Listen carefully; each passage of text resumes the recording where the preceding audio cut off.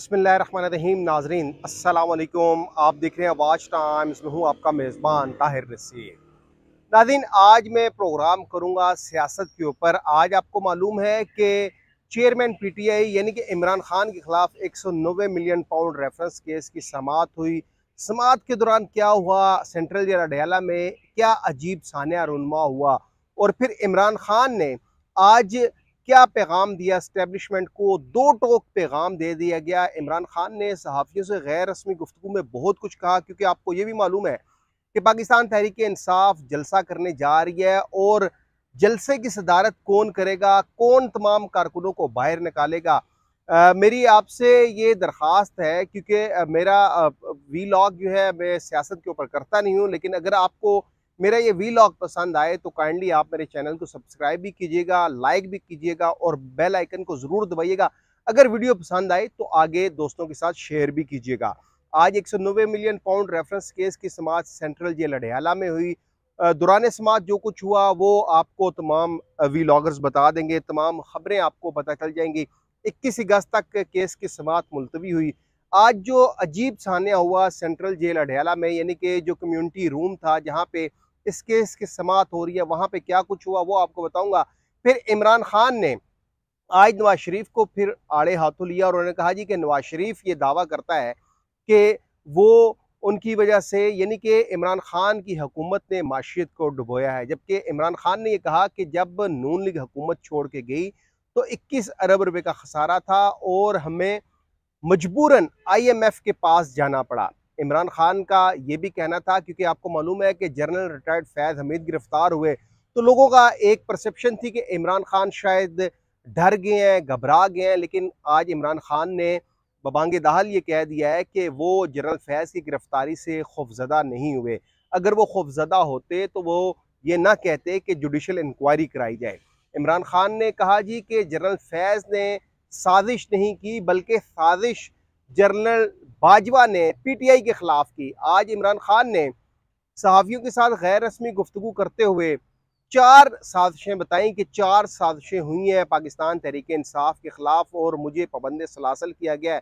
کیونکہ عمران خان کا یہ دعویٰ ہے کہ اگر وہ جیل سے رہا ہوتے ہیں تو یہ ظاہری بات ہے، ہر شخص جانتا ہے کہ عمران خان کی ایک جھلک دیکھنے کے لیے پورے پاکستان روڈوں پر امڑ آئے گا۔ اور ظاہری بات ہے کہ خان نو ڈاؤٹ اس وقت پاکستانی سیاست میں ابھرتا ہوا چاند ہے، ستارہ ہے، کیونکہ ہر شخص اس کو لائک کرتا ہے۔ اب دیکھیں، آج خان نے کہا، عمران خان نے کہ چار سازشیں ہوئیں۔ پہلی سازش ہوئی جنرل باجوہ کے ذریعے ہوئی۔ دوسری سازش عمران خان نے بتایا کہ سانیہ نو میں ہی کروایا گیا اور تمام سی سی ٹی وی فوٹجز جو تھی وہ وہاں سے غائب کر دی گئی۔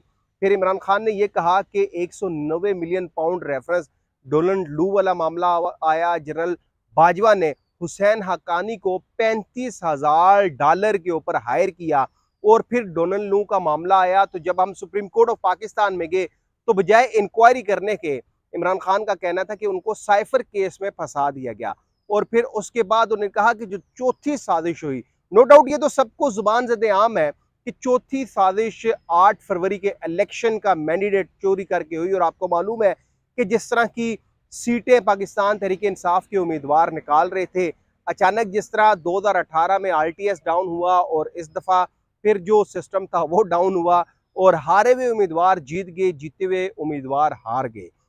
پھر عمران خان نے اور بھی بہت سی باتیں کی ہیں، لیکن عمران خان نے آج اسٹیبلشمنٹ کو واضح پیغام دے دیا ہے کہ وہ صرف عمران خان کے خلاف اتنا زیادہ پروپوگنڈا کر کے اس کو زمین کے ساتھ لگانے کی وجہ سے وہ ملک کا دیوالیہ کر رہے ہیں، وہ ملک ملک کا بیڑا غرق کر رہے ہیں۔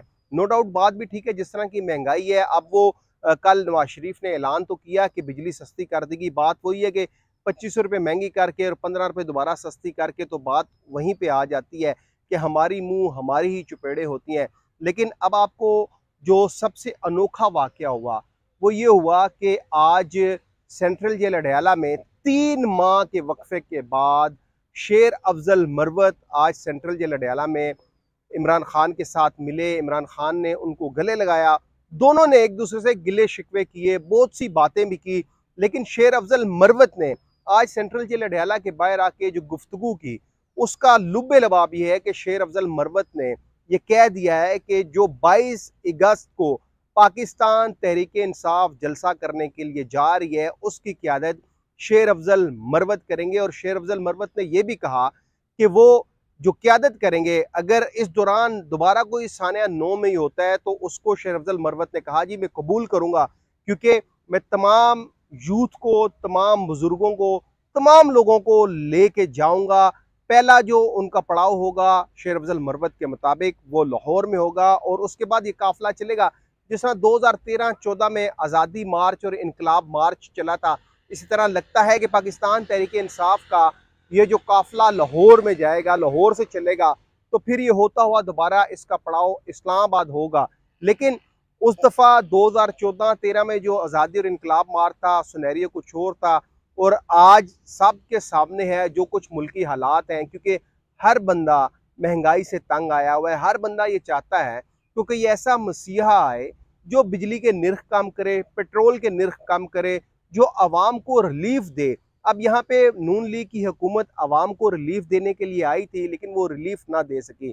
شیر افضل مروت نے یہ بھی کہا کہ انہوں نے آج عام معافی کا اعلان کر دیا ہے۔ کیونکہ آپ کو معلوم ہے کہ ایک جب پارٹی کا قائد جیل میں ہو تو پھر پروپیگنڈا ہوتا ہے، پارٹی میں کھینچاتانی ہوتی ہے۔ یہ ہر سیاسی جماعت میں ہوتا ہے۔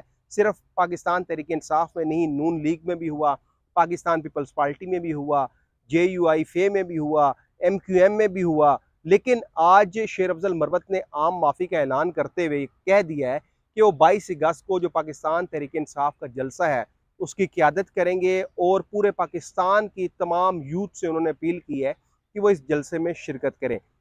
عمران خان نے آج ایک اور جو بڑا اعلان کیا ہے، عمران خان نے کہا کہ بیسیکلی اسٹیبلشمنٹ گھبرا چکی ہے، ان کو سمجھ نہیں آ رہی وہ کیا کرے، کیونکہ عمران خان کا یہ کہنا تھا کہ جو واٹس ایپ کا کہا گیا ہے جی کہ میں یہاں سے کالز کرتا تھا تو سینٹرل جیل اڈیالہ میں جیمرز لگے ہوئے ہیں، لیکن وہاں پہ وائی فائی بھی لگا ہوا ہے اور جو جیل حکام ہے، وہ وائی فائی کے ذریعے کہیں پہ بات انہوں نے کرنی ہو تو وہ کرتے ہیں۔ عمران خان نے یہ بھی کہا کہ وہ زلفی بخاری کو کال نہیں کرتے، اگر ان کو پیغام دینا ہوتا تو وہ وکلا کے ذریعے اور دیگر جو ملاقاتی آتے ہیں، ان کے ذریعے زلفی بخاری کو ملاقات کا یا پیغام دے سکتے تھے، کوئی بھی پیغام رسانی تھی۔ عمران خان نے یہ بھی کہہ دیا کہ اگر وہ اپنے آرٹیکلز چھپوانا چاہیں تو اب بھی وہ وکلا کے ذریعے آرٹیکلز باہر جو جریدے ہیں، ان کو بھیج سکتے ہیں۔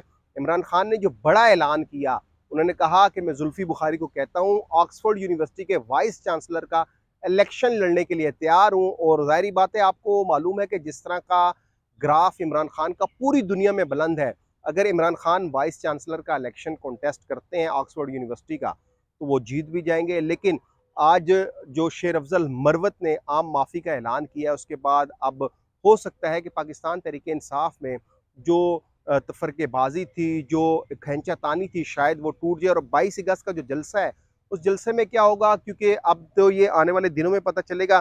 لیکن آپ کو آخر میں ایک اور بات بتا دوں کہ ابھی مزید دو سے تین بڑی گرفتاریاں متوقع ہیں۔ اور وہ گرفتاریاں ہو سکتا ہے۔